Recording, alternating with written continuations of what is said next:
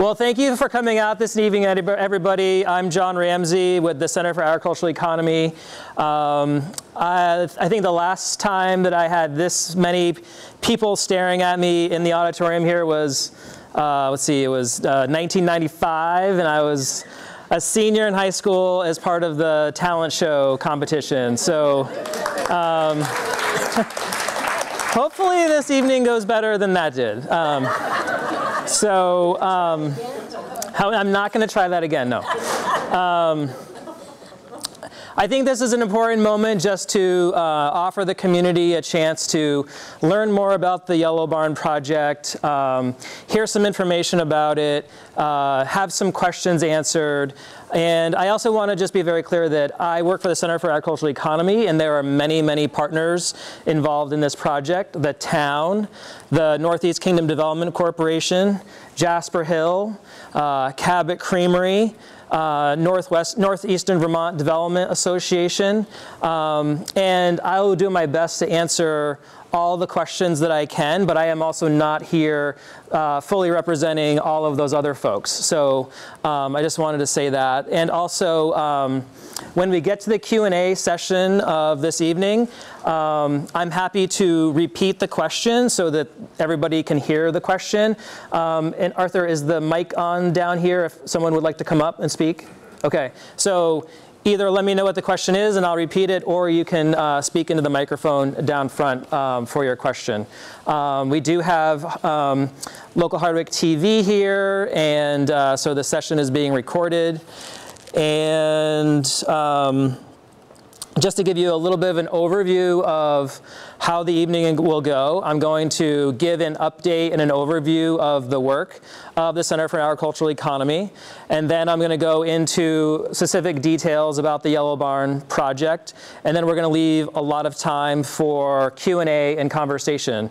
If there's burning questions or things that need clarification as I go along, I'm happy for you, you know, you to, um, to let me know that, that, I need to clarify something. Um, but we are going to hold a, a, good chunk of time at the end for, for questions and answers. So does that sound, does that sound good? Okay. Well, and again, thank you so much for coming out. I think this is a, this is a really important opportunity. Um, the Center for Agricultural Economy, we wanted to uh, put this on in part because um, when we operationalize our new space in the new building, there will be community intersection with that, and this is uh, actually step one of some community outreach that we intend to do about this project. Uh, we are also going to do some outreach later this summer or early fall, so just, just FYI on that. Um, so the work of the Center for Agricultural Economy um, has deep intersections with this local community. And um, much of our work can be very behind the scenes, and some of it is very um, out in front in, in, in, terms of the community. Um, this is a community meal that um, our staff uh, help put on every month um, at the United Church in Hardwick. Um, it's one of the examples of the work that we're doing uh, you know, in partnership um, with the community. Um, we envision a future with healthy working lands, abundant and accessible local food, and communities where everyone can thrive. So those are the broad goals by which we're approaching this work and this project. Our work um, takes, again, a lot of different shapes and forms. We have programs, um, which we put capacity behind, staffing capacity. Uh, there are places that the Center for Agricultural Economy manages. Uh, currently, uh, Atkins Field, which I'm sure many of you are familiar with. Uh, also, the Vermont Food Venture Center. That's our existing facility, which is on Junction Road, um, right behind Aubuchon's and then the new building, um, or half of the new building, and we have yet to come up with a name for our new space there. So that will be part of what we talk about um, later this evening as well, is what do we call that new space. Um, our work takes the shape and form of projects um, where we're taking ideas from the community and implementing them Uh, and we also work in deep partnership with so many, so many others. Um, Hardwick Area Food Pantry, the Hardwick Farmers Market, Northeast Kingdom Organizing, the Civic Standard, Green Mountain Farm to School, and we're, we're also in very deep partnership with the uh, OSSU Supervisory Union. Um, as well as a vast array of many other partners across the state, like the Intervale Center, Food Connects in Brattleboro, uh, Acorn in Addison. Um, our network is quite vast, but here in the Hardwick community, um, those are our key partnerships that um, we actually implement programming with. Over the last four years, um, there has been tremendous growth at CAE as we've navigated a lot of different things as a community. Um, and one of the things that sort of kicked off this growth of CAE was uh, in 2019, uh, Farm Connex, which at the time uh, was an independently operated business, uh, was at risk of closing. And that was a local food aggregation and distribution service that was serving many uh, local farms, uh, getting their, their food from farm to place to market. Um, and January 1 of 2020, the Center for Agricultural Economy took on the ownership and the management of Farm Connex. And since that time, I believe there's been two days in which we haven't run service, uh, meaning kept our trucks on the road and our drivers who do such a, you know, amazing work uh, moving food um, all around the state and locally. Um, I think it was the day it was uh, the day after Thanksgiving of 2020 when we had our first COVID uh, positive test, and uh, recently this summer after the flood, we were we were we were closed and shut down uh, with Farm Connex for I think two days. Um, but that has been it since uh, since January 1 of 2020. Um, so just shout out to our amazing staff. So thank you. Um, immediately following the onboarding of uh, Farm Connex, COVID arrived and Farm Connex, Center for Agricultural Economy, our community program staff, um, we became very deeply involved in a number of emergency response efforts. Uh, throughout the pandemic, uh, CAE was an Everyone Eats hub. Um, Bethany's here, I know she is, um, and uh, was very involved when uh, Everyone Eats was created as a statewide program. Uh, and through the pandemic, uh, I, I, believe CAE helped facilitate over 90,000 meals for the community.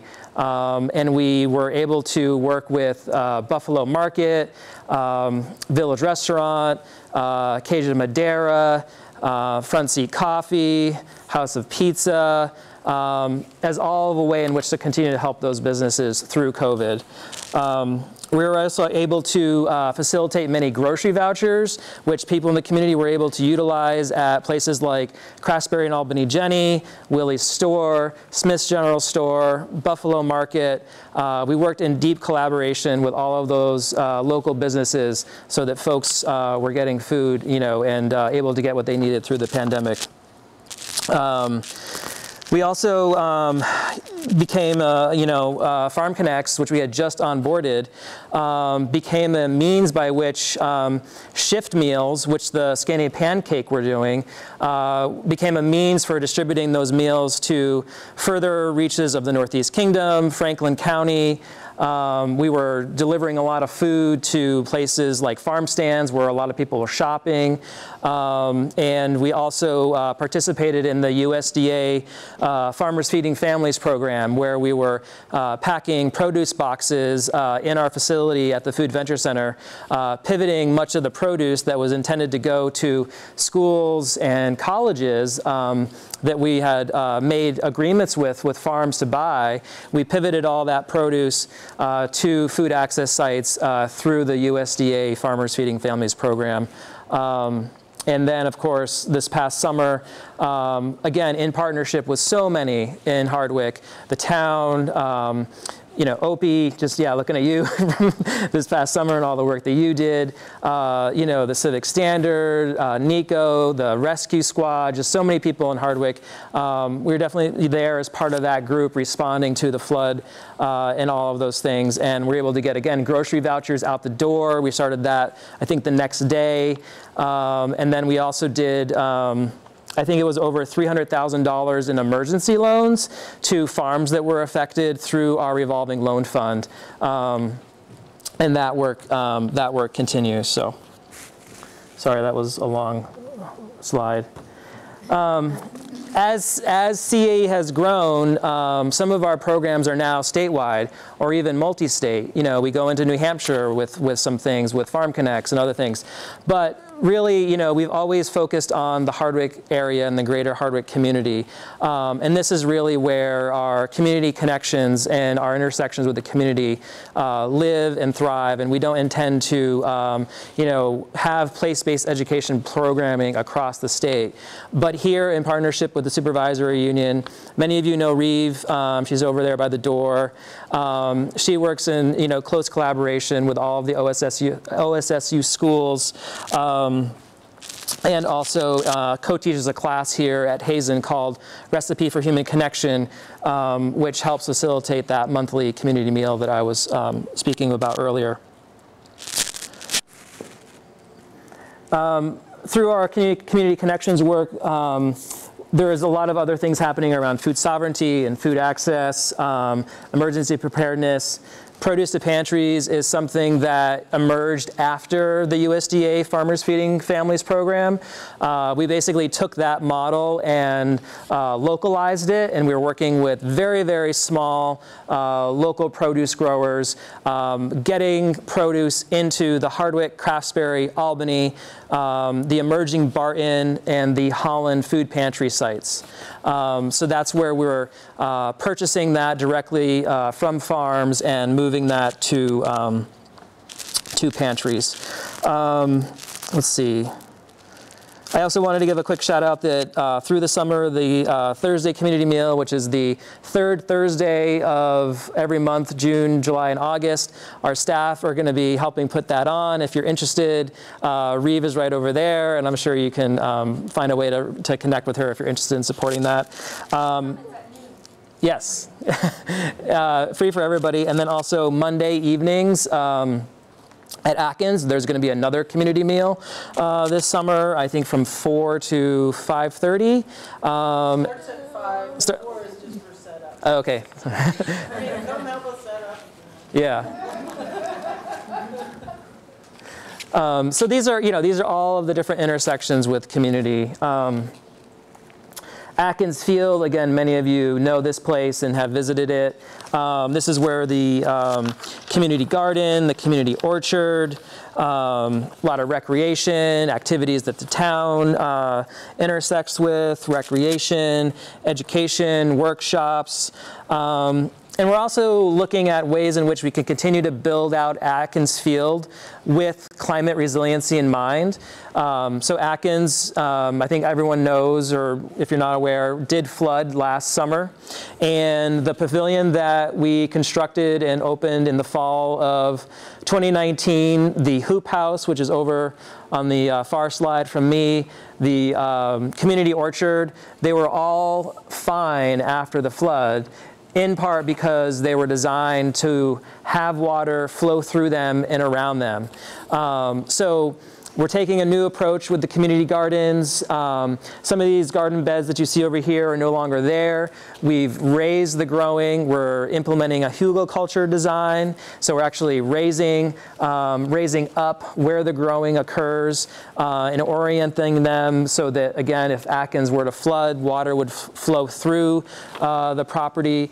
Um, so we really want to continue to build out Atkins as a you know shared space with the community, as a place for education and intersection with food access and food sovereignty. Um, this is also a place where we're in deep partnership right now with the town of Hardwick, um, doing uh, community listening and uh, really, um, you know, getting um, uh, conversations started with neighbors around some of the challenges that our community is uh, facing right now. Um, so this is a real intersection of place and people and food. Uh, and, you know, over time, we want to continue to invest in Atkins um, and uh, as a place for, for this community.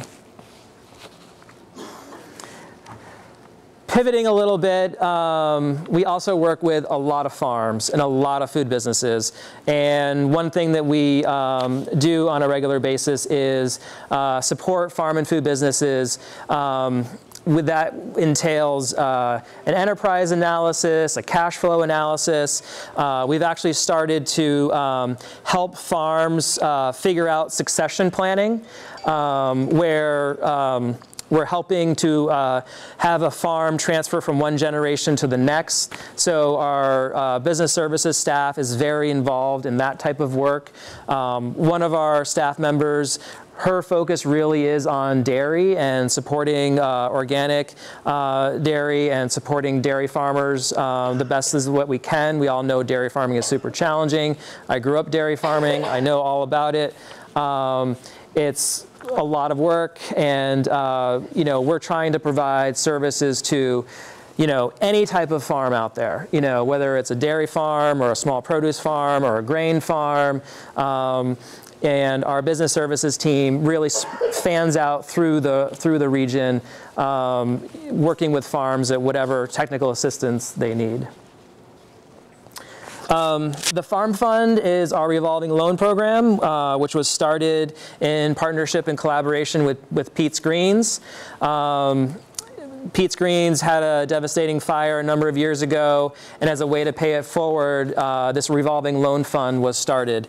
Uh, again, this this uh, play is a played a role front and center in the emergency response efforts from the flood last year. Um, but in total, in the last um, 16 months or so, we've actually loaned uh, $1.1 million to farms across Vermont.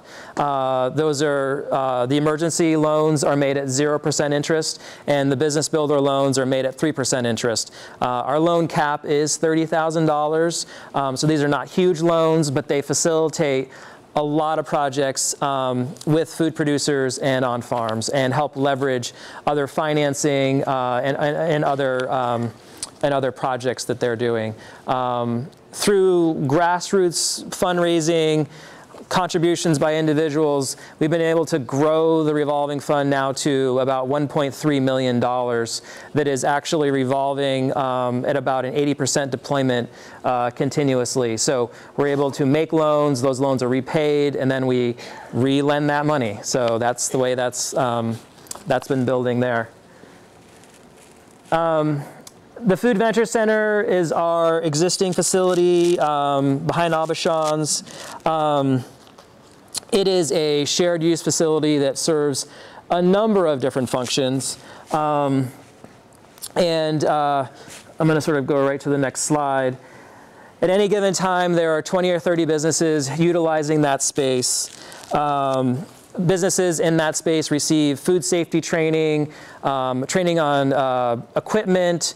Um, we do a lot of um, cross-docking there, so um, uh, Front Seat Coffee, uh, Local Donut, Patchwork Farm, I think Buffalo Market, um, um, I'm forgetting all of them, uh, have shipments of deliveries uh, made to the Food Venture Center, and then they pick up their uh, their products there. So we have this cross-docking arrangement with a number of businesses. Um, there's a number of businesses that are using our limited storage there right now, cold storage, frozen storage. Um, and then the clients who are using the kitchens um, are making a variety of different products. And um, think it was a couple weeks ago on WCAX, uh, Green Mountain Peanut Butter was featured as a Made in Vermont segment, um, and that actually is a business utilizing the, the Food Venture Center. So an example of businesses that grow, receive services while they're there, and then either graduate or they decide, no, I don't want to make salsa for the rest of my life, and I'm glad that I went to a facility and that didn't buy all of that equipment before deciding that. So um, it's a place for people to, you know, incubate their businesses, grow them. Um, it's also the home of Just Cut. And Just Cut, um, which I will get to in a second, um, but this is inside the, the, the, Food Venture Center, so it sort of gives you an idea of um, our space limitations. Um, um, there's uh, some limited capacity, like I said, for uh, cold and frozen storage there. Um, but it's you know we've, we've really sort of maxed out the, the space inside of the food venture center. Um, the kitchens are used nearly on an everyday basis. Um, jasper hill is still utilizing um, part of the building that was uh, essentially set up when the, uh, the building opened in 2011 they're still making all of their soft cheeses there harbison willoughby all of those things are made uh, at the creamery at the food venture center go to greensboro for aging then come back for fulfillment and distribution. Um, so at the Food Venture Center, we have a lot going on. And um, you know, the new building and the space that we're building out, um, we really are trying to complement those two spaces um, so that it removes some of the bottlenecks that we're experiencing in this facility. Um, so Just Cut, um, is a program where we sign good faith agreements uh, with local farms. We buy that produce. Uh, that produce goes to the Food Venture Center, and our staff prepare it into cuts that are easily used um, in schools, hospitals, and colleges. Uh, the produce that we're buying is really not the produce that farms would be sending to the retail market. It's maybe it has some defects or it's like grown oversized, and this is a great way to create a market for farms. Um, um, and again, we're taking sort of the, the middle out of it so the farms don't have to, you know, prepare the cuts themselves. They don't have to aggregate it. They don't have to distribute it. Um, we literally buy it from them, go pick it up with Farm Connex, uh, bring it to the Food Venture Center, and then prepare it into, um, into uh, prepared cuts. Uh, Hardwick Elementary, Hazen, um, UVM dining, you know, we're, we're able to distribute that, those prepared produce products, um, you know, through a number of different schools and colleges uh, and hospitals across Vermont, as well as keeping a lot of it local. Uh, last year, we processed roughly 170,000 pounds of local produce, which equated to over 400,000 servings of local produce on institutional meals in colleges and uh, schools and hospitals. So um, between the Produce to Pantries program and Just Cut, that's you know well over 200,000 pounds of local produce that we're moving from farm to food pantry sites or schools, hospitals, and colleges. Um, so this is sort of giving you a sort of a step-by-step, you know, we get, we receive the produce, it's prepared, um, gets packed, and then is sent out through shipping, and most of that shipping occurs through, um, through Farm Connex. So Farm Connex, um, and this is really where I'm gonna start to um, bring it together as to why I'm talking so much about CAE and then talking about the new facility. Um, so Farm Connex um, is a aggregation, distribution, fulfillment, and logistics service. Um, we're working with nearly 100 producers. Um, we're working with many of them, local Northeast Kingdom farms, but we also have producer relationships with like Strafford Organic Creamery. So if you're at Buffalo Market and you're seeing Strafford Organic um, uh, creamery, milk, um, in the glass bottles. Um, that arrive there via Farm Connex and the work that we do with Strafford. Um, it isn't um, just a service where we're picking up things and moving them from point A to point B. Um, like with Butterworks, we are actually helping fulfill orders and get their product into the store shelves. Um, with Green Mountain Farm to School, they have an online ordering platform. Uh, we're aggregating that product, we're picking and packing those orders, and then distributing that food for them. Um, so we are a very robust service in the beginning, middle, and end of the local food supply chain. Um, let's see. Let's go to the next slide. Um, this sort of gives you a little bit of a snapshot of what the service entails. Um, last year, um, uh, 13.5 million in local food um, went through this service. Those are all those are all represent sales for farms. Um, There are a lot of relationships that we uh, help facilitate between other food hubs and other um, groups like Deep Root Organic Co-op, uh, which is a, um, I think there are 17 member farms in Vermont, um, organic produce growers. Uh, we aggregate for Deep Root Organic, and then we also deliver for Deep Root Organic. Um, we work with Myers Produce, uh, Green Mountain Farm to School, um, and we have roughly 500 different stops that we do, maybe not on a weekly basis, but an annual basis. Um, how many, Corey, how many stops in a week? Roughly two, 275 to 300 stops a week. Um, this is a service that works seven days a week um, and requires a lot of overnight shifts to basically receive food in at the end of the day. It's literally hitting our warehouse um, and there for a couple of hours and then going, um, going back out the, the door on trucks. But again, um, part of what is you know driving the need for uh, additional facilities at CAE is um, Farm Connex really has no space at the Vermont Food Venture Center. Um, so this this facility that we're currently leasing um, is on Industrial Park Road, Industrial Drive, um, and it's a one one loading dock warehouse. Uh, we have five refrigerated box trucks, um, so that obviously creates some severe bottlenecks. Um, and as you can see, this is sort of typical of what the, the space can look like on a Tuesday, Wednesday, Thursday, Friday night.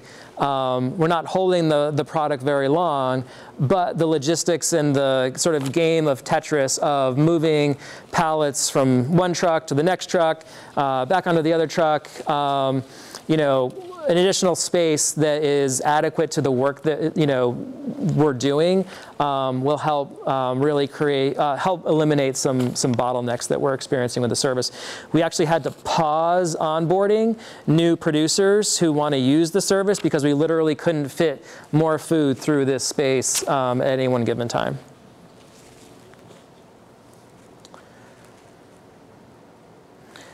So I'm going to kind of do a, a, hard pivot into the Yellow Barn project, and um, hopefully that um, intro to CAE gives you a little bit of an insight of how we might operationalize our space and um, what, um, what we might be doing there. Um, let's see here. So So 2017 is when um, I believe this project really started to sort of form as a concept.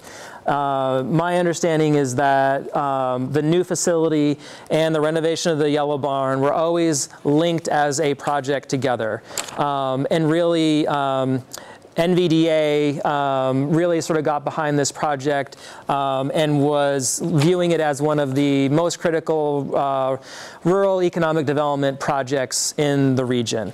Um, alongside the rail trail, um, they identified this as a project that would have a lot of economic benefit for uh, the surrounding communities. Um, and there were some benchmarks that um, this project had to meet in order to in order to uh, receive the funding that it has. And one of them was on job creation. And currently, um, my understanding is that there's uh, 25 jobs uh, planned for the new facility, for, the, for both of the buildings, the Yellow Barn and the new building, um, from the tenants that will be utilizing the space there.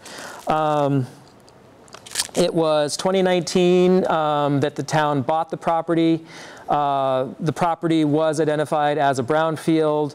Uh, a corrective action plan was approved um, and always has always been part of the project. Um, a lot of you probably saw the big pile of dirt that was down on Wright Farm Road. Um, that dirt was approved for removal um, up to the Coventry landfill to be used as daily cover. Um, that was all part of the corrective action plan that um, was put in place and implemented through our work with the, with, uh, with the state. The original concept for the project was three or four maker spaces in the Yellow Barn uh, as sort of a graduation space from folks coming out of the Food Venture Center, as well as a new building um, that was roughly 35,000 square feet. Um, so 10 or yeah, 10 to 12,000 square feet bigger than the current structure uh, was the original plan. And that was predominantly for Jasper Hill cheese aging. And there were two to three other smaller tenant spaces uh, in the new building um, in the original concept uh, for other tenants. Um, so this is 2017 to 2019 sort of um, steps being taken around the project. 2020 to 2022, major, major shifts in the project. Um, the first design was well over budget. So that uh, bid, there, there was a public bid process, as there always you know, needs to be in a large um, project like this with a lot of federal funds. Um, that, but that bid came in, I think it was April of 2022, and it was very, very over budget to the point where you know, the town, Northeast Kingdom Development Corporation, NVDA, um, really didn't see a path forward with the current um, design um, that had been um, talked about 2017 to 2019. Um, and Eric, if I get something really wrong, just. You're on track. Okay, all right. Also, there had been a couple of businesses identified as interested in using space in the Yellow Barn and also in the new building, and a lot of those businesses uh, during COVID pivoted. Um, and some of them, you know, were not sure if they wanted to continue with the project. Some of them decided not to continue with the project. Um, in 2020, there was a request for proposal process that the town, NVDA, CAE, and others supported, where we were uh, trying to replace those tenants that um, had you know, originally been interested and then uh, decided to exit the, the project at that time. Um, if I'm remembering correctly, the um, OSSU Supervisory Union had um, some light interest in some space for offices, but really nothing else was turning up at the time. And in order to keep the funding that had already been committed to the project, um, the town, um, Northeast Kingdom Development Corporation, uh, needed to demonstrate that they had tenants um, for the project that were committed to the project at that time, even though at the time there were a lot of big questions and marks around whether the project was even going to continue. Um, and at the time, because we had onboarded Farm Connex and had been involved in so many emergency response efforts, we had some real need emerging around infrastructure we also had a staff that was growing very quickly. We were quickly running out of office space. Um, so it was in that, that time frame um, that CAE became interested in utilizing some space in the new building. Um, originally, CAE was not even on the radar as being a tenant um, in the project. So just FYI on that. So in 2022, after the uh, public bid came in way over budget, um, this is how the project pivoted to maintain uh, going forward. Um, the building size shrunk, first of all. Um, the tenants in the new building are receiving a shell. So Center for Agricultural Economy and Jasper Hill are the two tenants in the new building. We're receiving a floor, walls, and a roof. Um, so all of the uh, electrical, mechanical, plumbing, heating, refrigeration, uh, office space, that became up to the tenants to not only fund, but to facilitate the fit up and the construction of all of those interior pieces. Um, the lease rates were recalculated. Um, and we were able to keep all of the funders on board. Um, EDA, which is a federal funder, um, really at the time, I think, was nearly ready to sort of back out of the project. And again, the Yellow Barn renovation and the new building were always intrinsically linked as a project together. So losing, you know, three million of federal money would have meant we probably wouldn't have been able to do the barn. But um, at the same time, uh, Cabot emerged as uh, a, a, tenant for the Yellow Barn. Uh, they stepped forward and indicated uh, interest in utilizing the Yellow Barn for a retail space. Um, and all, you know, through 2020, um, a lot of work was done to keep funding in place, um, maintain commitments with tenants, um, do the complete redesign, and um, essentially keep the whole the whole project on track. That was a that was a pretty big um, scope of work and um, took a lot of capacity by all partners involved. So where are we now? Um, the town is the owner of the property, um, the barn, and an owner of the shell of the new building. Um, I keep referring to the Northeast Kingdom Development Corporation. Um, that is a separate entity which has signed a ground lease with the town of Hardwick and is essentially the responsible party for the project. Um, the NEKDC uh, actually is the entity that we have signed a lease with, that Cabot has signed a lease with, and that Jasper Hill has signed a lease with. So their ground lease with the town allows them to um, sign those leases with us as the other tenants. Um, and they're responsible for all of the, uh, the management, uh, the finances, um, and as I believe they're also responsible for the long-term debt. Um, so they have taken on, when I say they, the Northeast Kingdom Development Corporation, um, they have sort of taken on that aspect of the project um, for the town and for all of the partners involved. This is a rendering that Co & Co, the architecture firm that's been working on the project since the beginning, provided as uh, sort of the finished, the finished concept. Um, let's see. The lease payments from the tenants cover the, uh, the pilot, the payment in lieu of taxes, um, the long-term debt. Um, there's approximately $1.5 million of long-term debt um, that the NEKDC will hold. Um, lease payments from the tenants um, pay that debt. They pay the um, payment in lieu of taxes directly to the town. Obviously, with it being owned by the municipality, it is not taxed, but there is a payment that goes to the town. I believe um, the last I looked, it was $27,000, but don't quote me on, don't quote me on that, yeah. Yep, yep. Um, lease payments also pay for property upkeep and maintenance, um, and all three tenants are leasing their space on a per square foot basis. Our lease, I think, is $8.60 per square foot. Um, and what we're getting is, again, the shell. So Cabot is doing the final finishing touches on the retail fit up inside of the yellow barn. Jasper Hill and CAE um, are entirely responsible for the interior construction, uh, plumbing, heating, mechanical, electrical, refrigeration, and equipment inside of the, the new building. Um, this really will give us adequate space to meet, you know, the needs of farmers and um, have greater community uh, resilience in the face of emergencies. Um, there have been a number of instances where, um, again, we have turned producers away from our services because of a lack of infrastructure.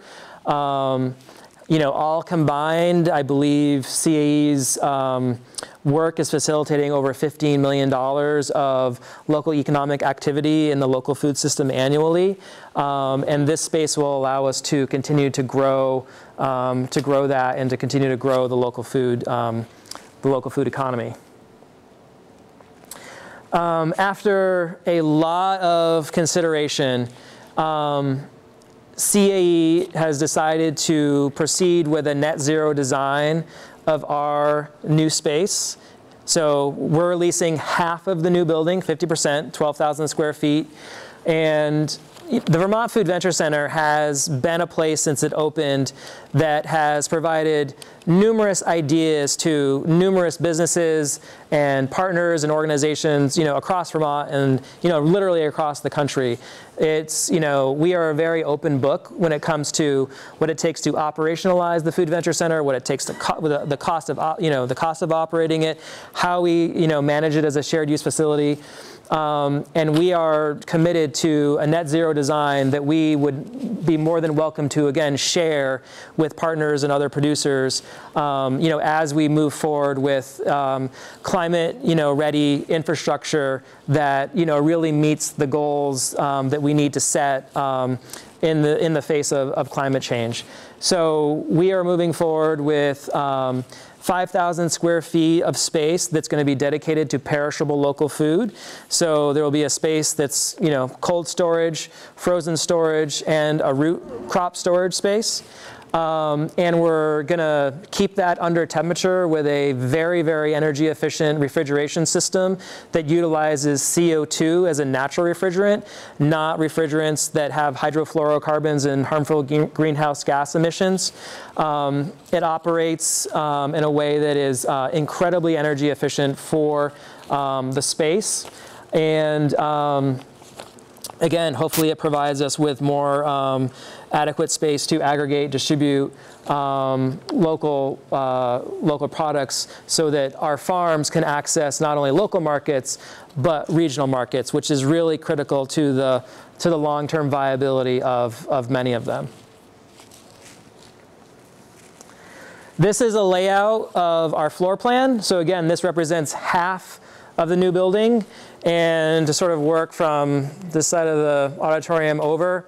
Um, we will have three loading docks.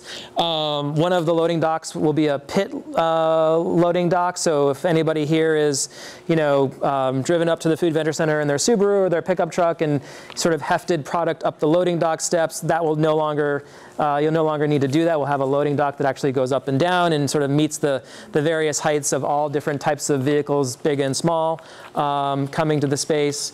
Um, we will have root storage space. Um, you'll sort of see the sidewalk. Um, that sidewalk is directly adjacent to Route 15. Um, that's where the roof along the side of the building is sort of coming out over along that sidewalk. Um, we'll have a large uh, cold storage space and a large uh, frozen storage space. Um, so this will be the new home of Farm Connex um, but also similar to the um, Food Venture Center, which is a shared use facility where farm businesses can come and utilize the equipment that's there without having to go buy their own. Um, we will offer storage space to farms here as well. So um, uh, LeBlanc Family Farm, Snug Valley, um, uh, Black Dirt, um, Schoolhouse and Calais. You know, these are all farms that are storing product with us currently at the Food Venture Center, and we have long turned many, many people away um, because we don't have adequate cold and frozen storage there for perishable food. Um, this will give us the opportunity to offer farms um, a safe place to store their products um, at appropriate temperatures and um, again, you know, um, you know, be a shared use facility. We have a, uh, a space that identified as conference space right here. Uh, it's really a community space. Um, there is a uh, demonstration kitchen at one end of it for education, workshops, community events. Um, we imagine this to be a space utilized by the community. Um, and then at the far end, there are uh, offices. Uh, and what is not shown here um, is also a, uh, a mezzanine space, um, which we will also have access to. And you know, I don't. That could be a creative space. That could be a place where you know there's a desk there that you know farmers utilize, or a shared, you know, a shared use uh, space for um, for people who need a, a place to uh, to work. Um, so again, we're imagining this as a space that um, the community intersects with in a number of different ways. Um, I kind of jumped ahead to this already a little bit, but um, to put a little bit more detail around our, um, our net zero design, um, the refrigeration system really is the focal piece of it. Um, this is a um, picture of the refrigeration system that we're um, going to be receiving. So um, it essentially has six or eight compressors that all work at very low amperage. Think of a, a, variable speed pump that doesn't come on at full force all at once, but you know can start gradually. This is that's similar to how this system operates, um, but it operates under high high pressure, and as it operates, it generates a lot of heat, and you can either you know use a big um, radiator to remove that heat, or you can capture that heat. And we intend to capture that heat, and that uh, captured heat is actually going to be the primary heat source for our half of the building. Um, so we're really excited about um, all of that because again, we want to share what we're doing. We want to share how we're doing it. We want to share, you know, um, how it works. the, you know, the things that we find out that, that maybe don't work as well as that we hope that it's going to work, um, so that other folks can take these ideas and implement them for uh, sustainable and climate-ready uh, infrastructure design. Um, we have um, a couple of different um, proposals that we've looked at uh, for a solar array on the entire roof of the new building. Um, I should say CA's lease covers half of the, the ground, uh, ground floor space. Um, we also have a lease on the roof. And uh, as backup heat, we have a wood pellet boiler going in, um, and then electric heat pumps in the rooftop handling units for uh, office cooling in the, in the summer. So a lot of work. Um, our board, many of our board members are here, were unanimous in their decision to move forward with the, um, with the net zero design. And again, really want to sort of showcase this as something for the future and, uh, you know, again, share what we learned for other producers and partners.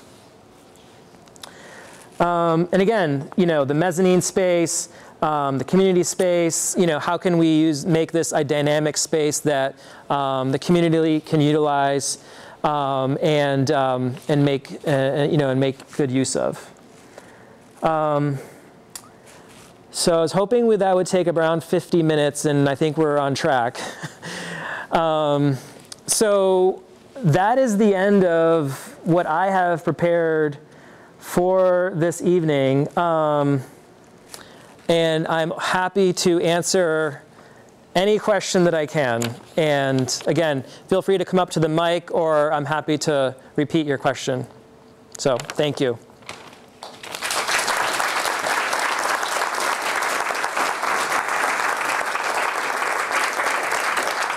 Um, our fit up budget is roughly 3.9 to 4.1 million dollars. Um, we have secured 2.4 million dollars, and we've secured roughly another million in interim financing. Um, the solar array uh, is something that we would not install until we've received additional um, uh, funding for. So right now we're hoping that that's a spring of 2025 project. So between the financing that we've secured and the funding that we've secured in grants, um, our grant funding is roughly um, 600 in our grant funding is uh, of the 2.4 million currently uh, is 671,000 of state and federal money, and the rest is private contributions. Um, and um, so we intend to, um, you know, move forward, complete the fit up, and be in that space by the end of the year. Yeah. Uh, the question was about the new building in the floodplain. So as part of the permitting process uh, in the federal money, um, the FEMA reviewed and approved the uh, location and the design um, and signed off on the, the new building and the renovation of the, of the yellow barn. A third of our funding, or a little bit more than a third of our funding, come from fee for services. So Farm Connex uh, is a fee for service. Uh, we get um, some funds from selling the Just Cut product. Uh, we get funds from leasing the Food Venture Center. So 35% or so of our budget is um, earned revenue. Um, and then we get um, roughly, um, you know, about a third from private contributions, and the rest are restricted grants, which are a mix of state, federal, and private foundation sources. Eric. Could I, I'd just like to offer one point of clarification. There was a, um, John talked early about the brownfields program to remediate the site. Just want to clarify that that um, brownfield situation did not originate with Greensboro Garage. It was over where that new building is now, and it originated with the state of Vermont burying a bridge there years ago.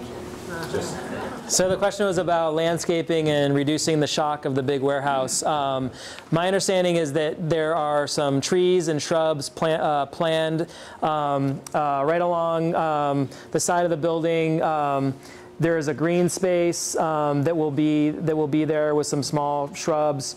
Um, and then, you know, a lot of folks have said to me, could we have a mural on the building? Um, I think the town would, I don't know if the town would have a permitting process. Not for murals. Not for murals, We okay. don't do that for art. Okay, okay. But I think um, there's been a lot of conversation about um, some kind of mural on this end of the building. Um, and yes, there is some, uh, some, some landscaping included in the, in the project. The sidewalk that's along the, um, that's coming out on the side of the building right here along Route 15 um, will also have um, a, a wooden uh, railing along it. And again, we're going to have, oh yeah, yeah, sorry. Um, yeah, this is sort of the, the concept. Um, and um, we will have solar on the roof. And then I believe that our silo for the wood pellets is going somewhere over here. It's the railroad right-of-way. It's the right-of-way of Route 15, um, an adjacent wetland and the floodplain, and situating the building in that um, configuration um, basically required the, the current placement. Yep.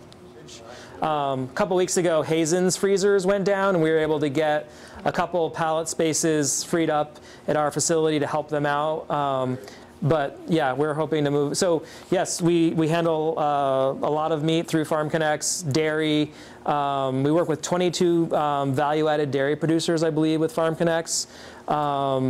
We also work with uh, some grain farms, produce farms, uh, four, four egg farms, Neil, four, four egg farms. Um, so, yep. Um, we have um, we have already created it. We have actually already um, hired a number of staff. Uh, CAE currently is I think at 37 or 38 staff. Um, so we've been, you know, actually hiring uh, in anticipation of moving into this facility. Um, we're going to be launching another uh, job search process um, here pretty quickly at the beginning of July, directly related to this facility. So we already are in that process. And I can't, I don't know what specific plans Jasper Hill has or Cabot has for hiring. But I know that in order to retain the grants, the federal grants, state grants, uh, there was a commitment by all of the tenants, and we actually have to report to um, Department of Labor when we go through hiring processes and report on um, job on applicants, you know, and, and number of applicants received and all of those things. So, yeah. Yeah, that's a great question. I mean, I think at least it's going to take us, you know, a year or two to sort of grow into that space. Um, I mean, my rough estimate is that um, Farm Connex would occupy at least half of the cooler space on day one, just being able to. Um, you know, uh, actually have products staged in a way that was, um, you know, more functional than how we're doing it right now. Um, you know, we would fill out the freezer less so. Um, and then the root crop storage, you know, I think is something that we're curious about. Um, we've talked to a number of produce growers and we actually designed um, our root crop storage space so that you actually could, you know, break it into half into two zones. And so um, half of the root crop storage space we can either convert to frozen storage, cold storage, or keep as um, root crop storage. So we're trying to sort of go in this with the most flexibility as possible to, um, to fit up the space. Um, I will say that there are a number of organizations that have talked talk to us about some interest in either utilizing our services or working with us in more capacity once we have this space. Um, you know, certainly Green Mountain Farm to School, who we already work with, um, you know, uh, talking to Salvation Farms, we're talking to Vermont Food Bank, uh, Hardwick Food Pantry. Um, so, you know, I think we're having, we're actively having those conversations. Um, and yeah, there's a number of, of, not only producers but partners interested in um, utilizing the space with us. So yeah, yeah. I just want to say um, it's not a question. It's more just a, a thank you. Uh, having watched this whole project, not even that, but the Center for Ag and the Venture Center and everything from its inception, it blows my mind, and I really appreciate what it's done for our community. It's just beautiful, and Oh, thank you. Thank you.